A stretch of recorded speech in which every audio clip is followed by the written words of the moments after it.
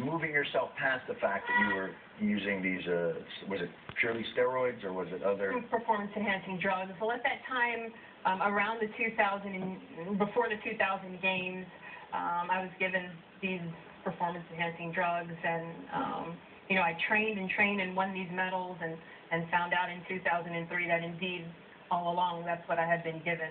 Um, and so in 2007, I, I gave them all back.